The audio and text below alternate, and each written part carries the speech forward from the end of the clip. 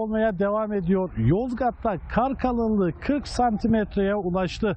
Evet ulaşımda aksama yaşanmaması için karayolları ekipleri anar güzergahlarda Yozgat Belediyesi karla mücadele ekipleri de cadde ve sokaklarda kar temizleme ve tuzlama çalışmalarını aralıksız sürdürüyor.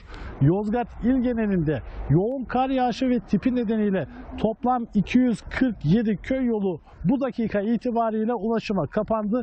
İl Özel İdaresi ekipleri çalışmalarını kapalı köy yollarını yeniden ulaşım açmak için çalışmalarını aralıksız sürdürüyor. Evet yoğun kar yağışı ve tipi nedeniyle Yozgat il genelinde 13 köyde de elektrik kesintisi yaşandı. Bunu hatırlatalım. Bunun yanı sıra çok sayıda maddi hasarlı ve yaralanmalı trafik kazalarında meydana geldiğini belirtelim.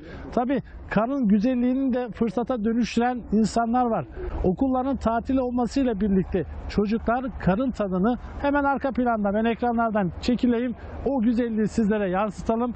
Bazen bazıları kimileri kardan adam yapıyor ama Yozgat'ta kardan gelin yapıldığını şu an ekranlarınıza getiriyoruz. Görmüş olduğunuz gibi çocuklar tatili de fırsat bildi.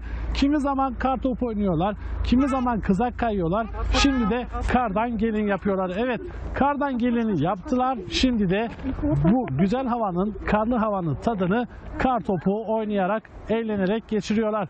Evet, kar topu oynuyorlar. Kimileri kızak kayıyor, kimileri kardan adam ve kardan gelin yapıyor.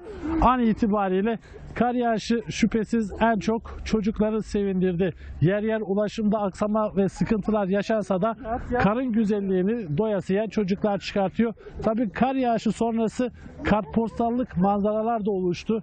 Özellikle Türkiye'nin ilk milli park olan Yozgat Çamlı Milli Parkı'nda yeşille beyazın buluşması muhteşem görüntüler oluşturdu. Evet Yozgat'ta yoğun kar yağışı ve tipi etkili olmaya devam ediyor.